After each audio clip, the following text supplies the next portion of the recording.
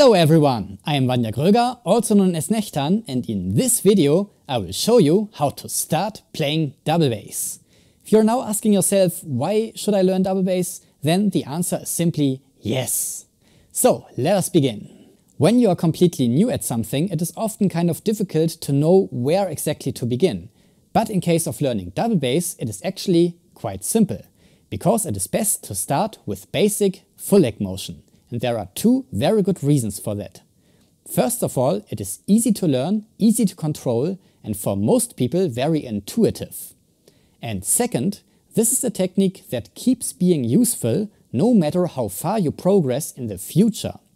So even when you learn later something like heel toe single strokes, double strokes, swivel or ankle motion or whatever, you still need full leg motion for the slower or slower mid-tempo ranges.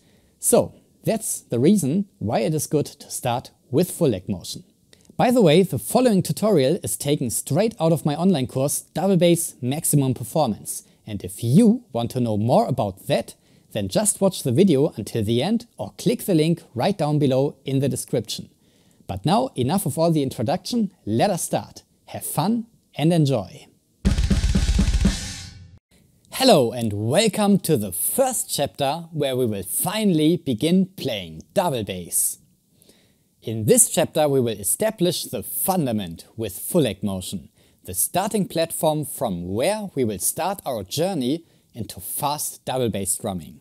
Have fun and enjoy! For many of you this may seem redundant, but I want to make sure everyone is on a certain minimum level with this technique before we start with heel-toe single strokes. So, if you already feel comfortable with full leg motion up to 140 BPM, you can just skip this chapter, go through the following exercises once and then directly start with heel-toe singles. So, if you are still here, welcome! Let us begin! Full leg motion is a very intuitive technique, simple to learn and easy to control. For some people it comes totally natural, but for some, including me, it might still require some effort to learn. If this is all very easy for you, great. But if it doesn't work right away, stay calm, be patient with yourself and keep practicing. So, here are the basics. Foot position. For this technique it is important that you don't put your feet on the pedals like this, but instead a little bit more back like this. Your seat should be high enough that your legs are not angled upwards. But don't put your seat up too high because this will make the other techniques that you will learn later hard to use. I recommend to have your upper legs slightly angled downwards and your lower legs slightly angled forwards. Motion now we lift our leg and let it slam down on the pedal. And this is basically it. If you end up slamming your heel on the plate back here, without getting a solid hit, it helps to not just let your leg fall down, but to also very slightly kick your lower leg towards the bass drum. You can start with doing this with each foot individually, but I think it is more fun to just try it with both legs from the beginning. Just start without metronome and experiment how it feels.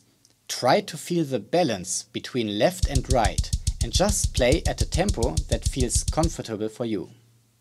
Just two things we have to be aware of. We should hit with both sides equally loud. Both beaters should move back the same distance before hitting the bass drum. And second, the balls of our feet should always stay on the pedals.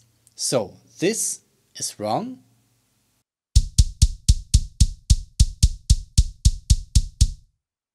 This is right.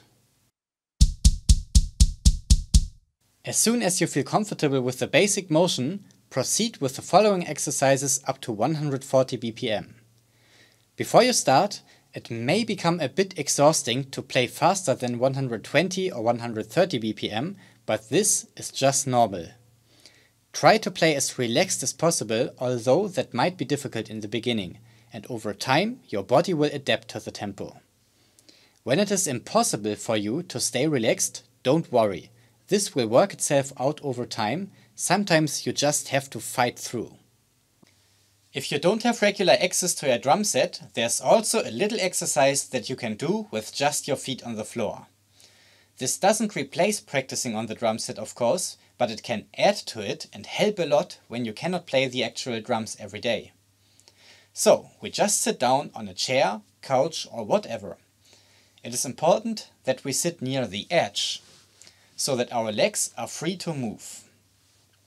Now we place both feet like this in front of us, raise our heels a little bit like this, and now we just start doing this.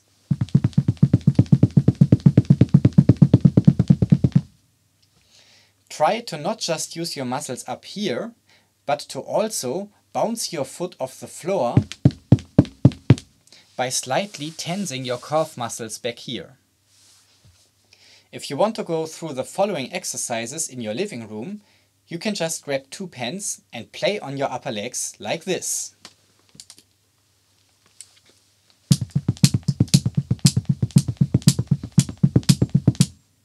If you have trouble with this technique, I recommend to first take a look at your seat position. When you sit too close or too far away from the kit, this may make it more difficult. Next, check your pedal settings. Beaters should be at an angle around 45 degrees and in the beginning I recommend to have only low or medium spring tension. Just try what works best for you. Other than that, it is important for your balance that both pedals are set up symmetrically and similar to each other. And now have fun with the exercises and see you in the next chapter. So, this is it. In the end, I just want to encourage you that if you want to start with double bass, just do it. Get a double pedal, put it on your drum set and just start practicing. Because in the end, no amount of tutorial watching will make you better at double bass if you don't sit down and practice. And because practice is so important, my online course Double Bass Maximum Performance features tons of play-along exercises so that you can really put all the theoretical knowledge from the tutorials directly into practice on your drum set. The tutorial in this video about full leg motion is actually just a very small part of the whole course Double Bass Maximum Performance because this online course mainly focuses on learning the heel-toe single stroke technique in every detail, step by step. And this is the technique that I use to play really fast for very long periods of time. In this online course you will learn and train to achieve speed, stamina, power and precision. You will also learn about different double bass patterns, how to break speed barriers or just about pedal settings and equipment choice. On top of that, you will get, of course, my personal support for one year minimum. And if you click on the link below this video in the description right now, and this just works with this very link, then you get straight up 20% off the normal price. So this is a great opportunity to start with double bass and to get this course for 20% less. Just click on the link down below right now. Thanks for watching and see you there.